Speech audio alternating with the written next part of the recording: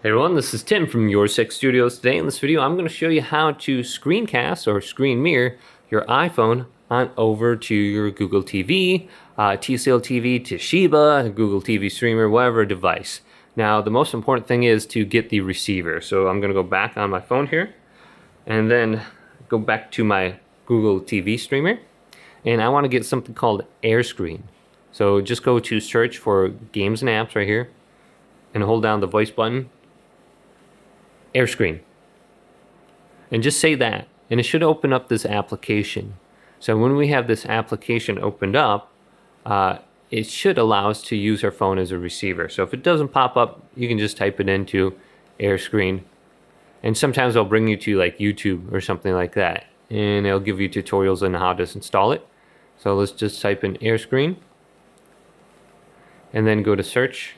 And this is the most important part. And once we get this receiver, uh, so you can see this one works, AirScreen or Air Mirror might work too. I just like AirScreen, that one works without the, the hassle here. It's got 3.5. Now we want to go download this and open it up.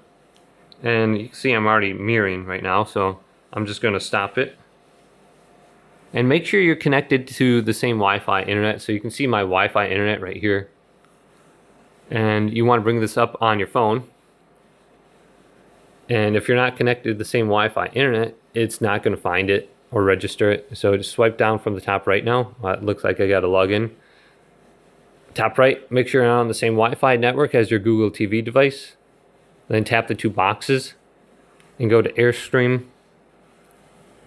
And it should connect after about two or three seconds here and just accepting it. And there it is. It's up on my phone.